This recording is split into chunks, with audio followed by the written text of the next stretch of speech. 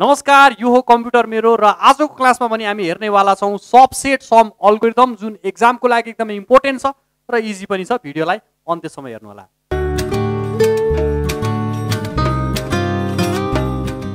So subset some अल्गोरिदमले चाहिँ के भन्छ भन्दाखेरि हामीलाई एउटा सेट दिएको हुन्छ र यो सेटलाई यहाँको इलिमेन्टहरूलाई जोडेर चाहिँ दिएको सम कसरी निकाल्ने?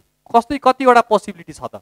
त्यो कुरा चाहिँ हामीले निकाल्ने काम चाहिँ सबसेट सम अल्गोरिदमबाट गर्छौँ। र एकदमै सजिलो छ हामी विथ र विदाउट ट्रीबाट गर्छौँ। एउटा ट्री बनाउँछौँ लेफ्ट साइडतिर हामी विथ राख्छौँ राइट साइडतिर हामी विदाउट राख्छौँ र छान्दै छान्दै हेर्दै हेर्दै चाहिँ हामी गर्छौँ। एकदमै सजिलो छ हेर्नुहोस् है त। सबैभन्दा पहिला चाहिँ हामी जेरोबाट स्टार्ट गर्छौँ।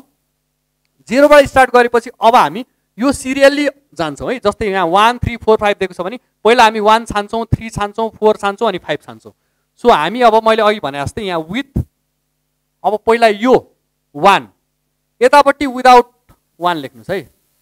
विदाउट वान भनेको हामीसँग अघि जेरोबाट स्टार्ट भएको। अब वान आयो भने हाम्रो जेरोमा वान जोड्दाखेरि वान भयो। र विदाउट भयो भने यहाँ अलरेडी जेरो छ सो जेरो लेखिदिनुहोस् वानको पार्ट सक्यो फिनिस अब हामी थ्रीतिर आउँ। थ्री लिँदाखेरि यहाँ विथ थ्री यहाँ तपाईँको विदाउट थ्री विथ थ्री लिँदाखेरि यहाँ वान अलरेडी छ थ्री लिँदाखेरि वान प्लस थ्री गर्दा फोर भयो। र विदाउट थ्री भनेको थ्री नलिने तर यहाँ वान अलरेडी छ सो वान आयो। अब यो थ्रीकै पार्ट पहिला सक्नुपर्ने हुन्छ है। हुनाले यता पनि हेर्नुहोस् अब।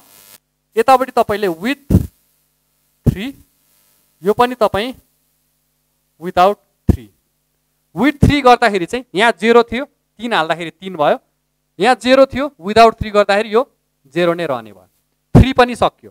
अब फोरलाई हाल्नुहोस् है केही पनि गाह्रो छैन। हाम्रो म्याक्सिमम् भनेको चाहिँ हामी एटसम्म पुऱ्याउनु पर्ने हुन्छ। हाम्रो सम चाहिँ एट बनाउनु पर्ने हुन्छ। सो अब यहाँबाट जानुहोस् है। यहाँ तपाईँले विथ फोर लिनुहोस् है। विथ फोर लिँदाखेरि यो एट भयो। है अवश्य पनि फोर अलरेडी छ। फोरमा फोर जोड्दाखेरि एट भयो। अब यहाँ विदाउट गर्नुहोस् ल।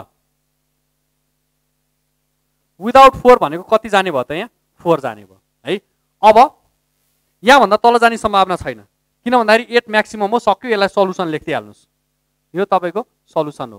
अब यो फोरभन्दा तल हामी जान सक्छौँ कि सक्दैनौँ?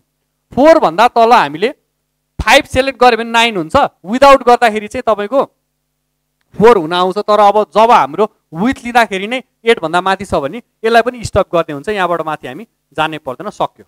यति नै है। यहाँबाट सकाइदिनुहोस् अब यतापट्टि हेर्नुहोस्।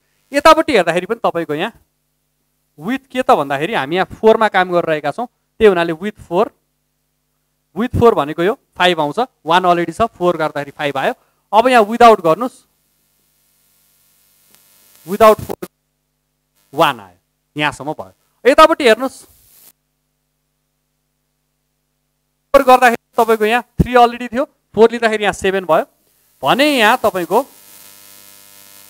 विदाउट फोर गर्दाखेरि चाहिँ यहाँ थ्री थियो। सो यहाँ थ्री आयो। यहाँसम्म भयो। यता पनि हेर्नुहोस्। यतापट्टि हेर्दाखेरि तपाईँको विथ फोर गर्दाखेरि यहाँ जेरो थियो फोर हुने भयो। अब यहाँ विदाउट फोर गर्दाखेरि यो जेरो नै हुने भयो। यहाँसम्म हाम्रो आयो। अब यहाँभन्दा तल कता कता जान सकिन्छ एकचोटि चेक गर्नुहोस् है। यहाँ सल्युसन भइसक्यो यहाँ स्टप भइसक्यो सकिहाल्यो। अब यहाँ हेर्नुहोस्। यहाँबाट हामी तल जान सक्छौँ त।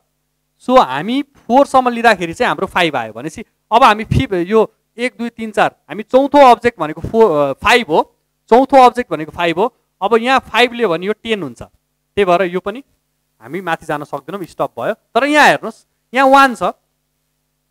यो फाइभ लिँदाखेरि चाहिँ जम्मा सिक्स मात्र हुने सम्भावना छ। त्यही हुनाले चाहिँ यसलाई मैले विथ फाइभ लिँदाखेरि चाहिँ यो सिक्स रह्यो र यो विदाउट फाइभ लिँदाखेरि चाहिँ यो तपाईँको के भयो भन्दाखेरि वान रह्यो। है यहाँभन्दा तल चाहिँ सायद जान सकिँदैन। यसलाई स्टप गरिदिनुहोस्। यतापट्टि हेर्नुहोस् है। सेभेनबाट हामी माथि जान सक्छौँ कि सक्दैनौँ? सेभेनमा पाँच जोड्ने बित्तिकै यो चाहिँ आठभन्दा ठुलो हुने भयो त्यही हुनाले यसलाई छोड्नै परेन स्टप गरिदिनुहोस्। यहाँ हेर्नुहोस्। यो थ्री थ्रीमा पाँच जोड्दाखेरि बल्ल आठ हुन्छ सो हामी चाहिँ विथ फाइभ लिन्छौँ। त्यो गर्दा एट आयो र यहाँ तपाईँको विदाउट फाइभ गर्दाखेरि चाहिँ यो थ्री आयो। सो यो पनि तपाईँको सल्युसन भयो। किनभने हामीलाई एमको भ्यालु एट दिएको छ हामीले यहाँ एट निकालिसक्यौँ। भने यतापट्टि हेर्नुहोस् अब। यता पनि सम्भावना छैन। किन भन्दाखेरि चार अलरेडी छ चारमा तपाईँको यो पाँच जोड्ने बित्तिकै नौ हुन्छ। सो यो नौ भनेको आठभन्दा ठुलै हुन्छ। त्यही भएर यसलाई पनि तपाईँ स्टप गरिदिनुहोस्। र यतापट्टि चाहिँ लेख्नुहोस्। यतापट्टि तपाईँ विथ फाइभ यतापट्टि विदाउट फाइभ है। विथ फाइभ गर्दाखेरि यो फाइभ भयो। यो जेरो भयो। भनेपछि हाम्रो जम्मा जम्मी सल्युसनहरू चाहिँ दुईवटा रहेछ। हामी दुईवटा तरिकाबाट यो सेटको सबसेटहरूमध्ये दुईवटा कुराहरूबाट चाहिँ हामीले एट अप्टेन गर्न सक्दो रहेछौँ अब कसरी गर्न सक्छौँ भन्ने कुरा यहाँबाट हेरौँ है। जहाँ जहाँ विथ छ त्यसलाई जोडिदिनुहोस् है। So possible ways possible ways भनेको विथ विथ भएको पार्ट जोड्नुहोस्। पहिला सुरु यो वालामा हेर्नुहोस्। विथ के छ? वान छ। वानलाई जोड्नुहोस्। अर्को विथ के छ? थ्री छ। थ्रीलाई जोड्नुहोस् र अर्को विथ भनेको फोर छ। फोरलाई जोड्दाखेरि चाहिँ तपाईँको एट आयो। यो एउटा भयो। भने अर्कोतिर हेर्नुहोस्। जे जे विथ छ त्यसलाई जोड्नुहोस् है। विदाउट जोड्नु परेन। विथ थ्री जोड्नुहोस् है। थ्री जोड्नुहोस्। यहाँबाट यो यहाँ पुग्यो। यो विदाउट जोड्नु परेन। अब फेरि यहाँबाट यहाँ आएको छ भने चाहिँ विथ फाइभ जोड्नु पऱ्यो। फाइभ जोड्नु पऱ्यो। सो थ्री प्लस फाइभ भनेको तपाईँको एट सो यति दुईवटा मात्र चान्सेस रहेछ।